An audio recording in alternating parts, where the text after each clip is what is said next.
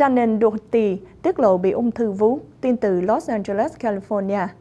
Nữ diễn viên kiêm đạo diễn truyền hình nổi tiếng Shannon Doherty đã tiết lộ một tin tức gây sốc không chỉ với toàn bộ giới truyền thông mà còn đối với các fan luôn theo dõi chặng đường diễn xuất của cô suốt 34 năm qua. Shannon bắt đầu sự nghiệp vào năm 1981.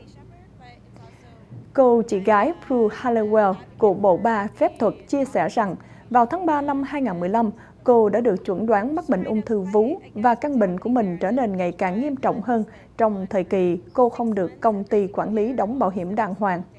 Shannon đã đâm đơn kiện công ty quản lý Tenement Stand vào hôm qua, 19 tháng 8, chia sẻ rằng có lẽ lúc đó cô được bảo hiểm và có thể đi khám, thì căn bệnh ung thư của cô cũng không đến nỗi trầm trọng như bây giờ. Chưa kể hiện tại cô phải chịu đựng những cơn đau đớn từ việc phẫu thuật và hóa trị.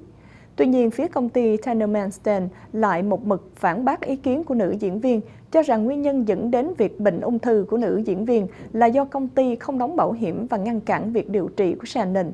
Đầu năm 2015, Shannon với người bạn thân và cũng là chị em màn ảnh của cô là Holly Mary Combs đã cùng tham gia vào chương trình truyền hình du lịch Off the Map with Shannon and Holly. Hai nữ diễn viên đã có một khoảng thời gian vui vẻ, thăm thú các địa danh tại vùng Đông Nam nước Mỹ.